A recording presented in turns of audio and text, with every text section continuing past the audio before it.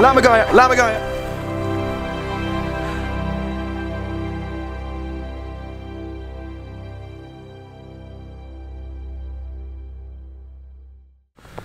Good morning everyone, it's a new day. We're back in Switzerland now and we are searching for ibex. We are now at a location which is pretty famous for having ibex, known as Creux du Van, something like that.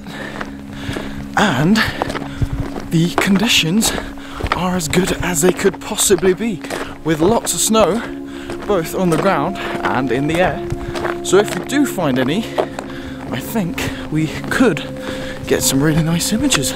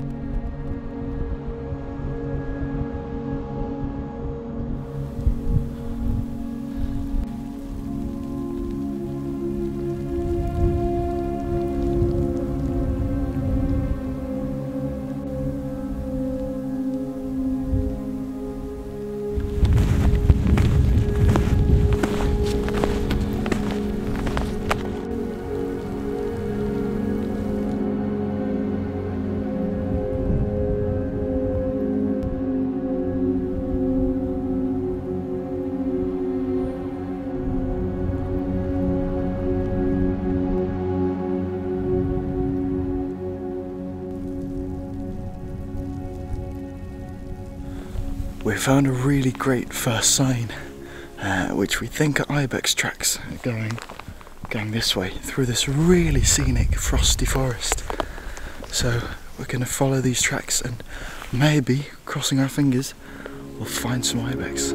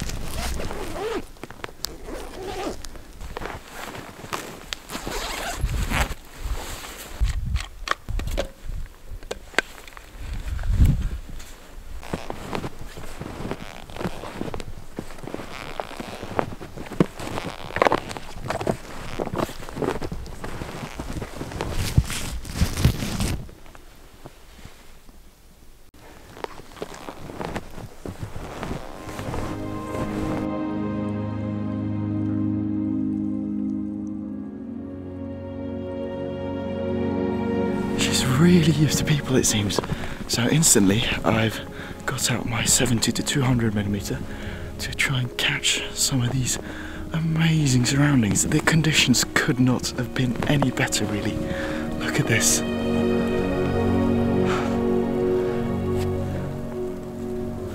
Simply magical.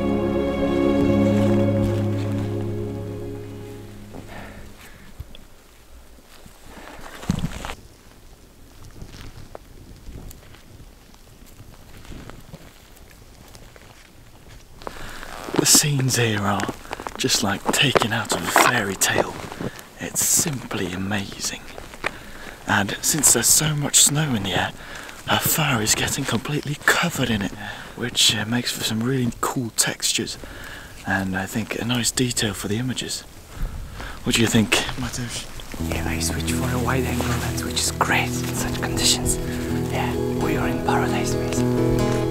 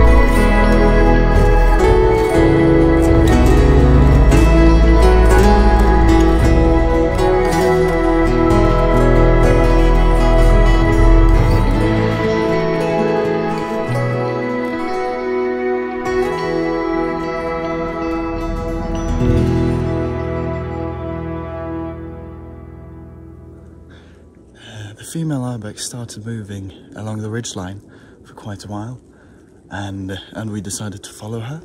But the landscape here, the terrain, got more and more difficult to navigate through, and uh, yeah, got quite gnarly at times.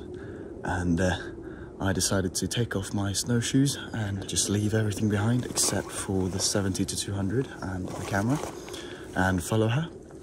And I followed her for about 150 meters. She was really relaxed, stopping and grazing and uh, not really paying too much attention in my way. But now she's headed down this way, down below me, and there is just no way I can follow her. It's important to respect their space and, and also you really gain some respect for these animals that manage to so easily navigate through this really, really difficult terrain. Such an amazing species and just an amazing place.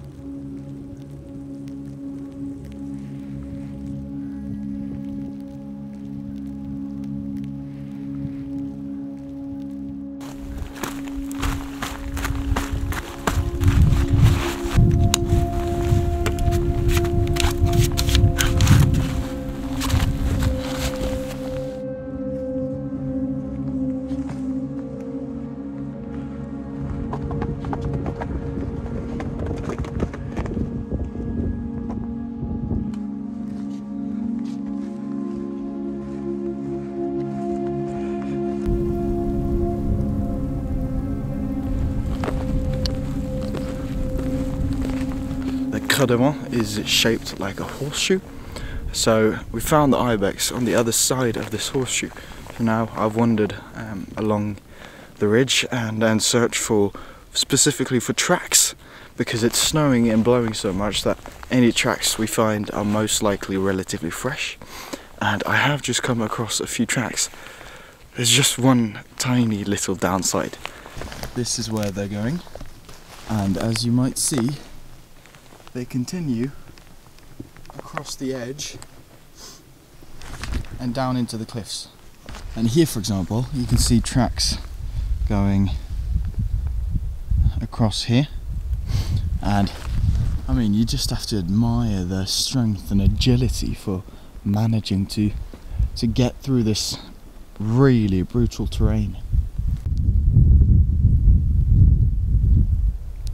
I've soon walked eight kilometers through the snow here and I must say it's rather tiring work and since I photographed the other ibex I haven't seen a single one so now I'm gonna eat some food and get ready to hopefully get going again very soon.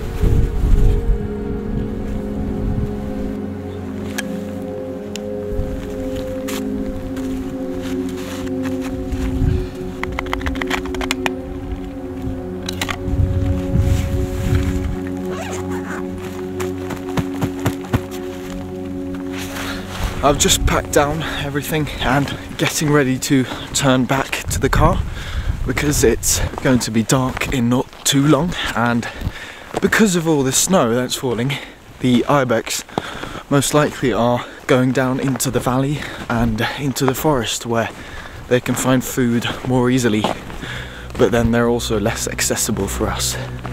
Although we only had one encounter with an ibex that one encounter was really nice and made this whole trip definitely, definitely worth it.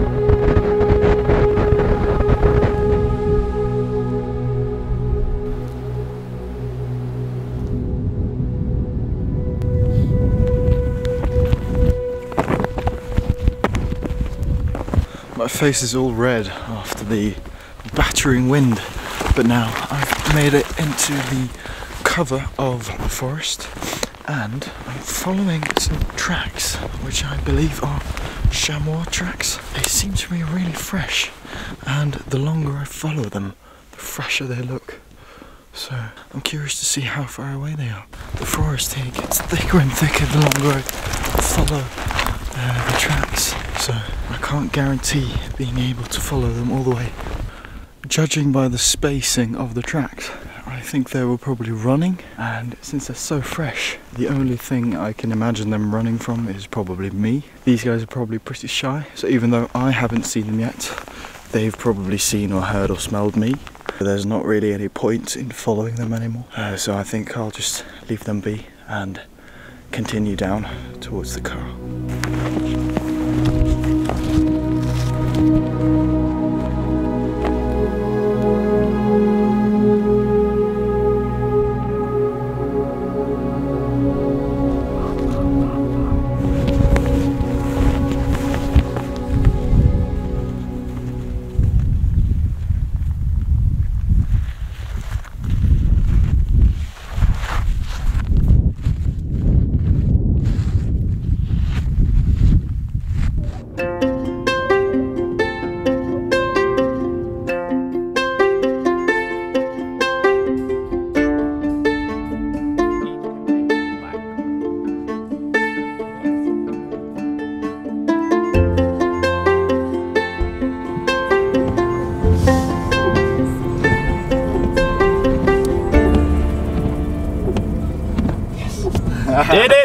Did it! Good morning, everyone. It's a new day. Today we have ambitions of photographing the chamois. But at this location, in contrast to yesterday where they were really skittish, uh, today we should be at a place where they are relatively used to people. So, if we do manage to find them, we could get really close and uh, get some nice portraits. That's at least what we're hoping for. So come along, let's see how this unravels.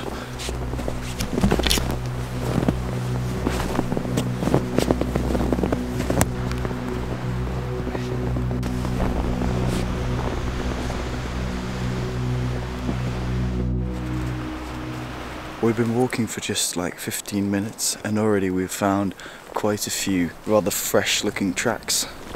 There is no doubt about it, we are in the right location.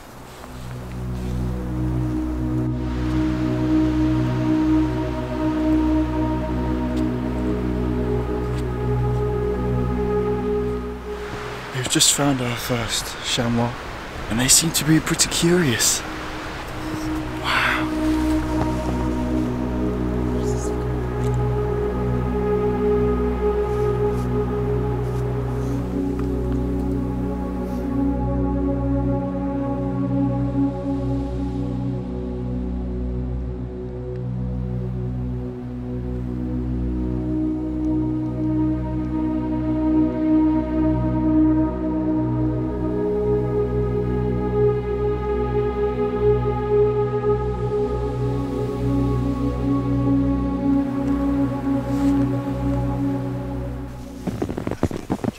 Very first, the chamois showed no sign of fear, only curiosity. However, as they made their way out of the forest and into the open meadows, they drastically altered their behavior. All of a sudden, they were very skeptical of our presence and seemed to perceive us as a threat. But with a bit of trial and error, we figured out how to approach and photograph the beautiful goat antelopes of the Alps. So it turns out that the technique to photograph these guys, which are supposedly uh, quite used to humans, is to let them know that you're there and let them know that you're no threat, you're not trying to stalk them, and, uh, and then let them come to you. And we just had an amazing encounter. Would you say, Mateusz? Yeah, that was brilliant. Amazing. You don't get to see that every day. Yeah. I'm so happy we came here. Yeah. This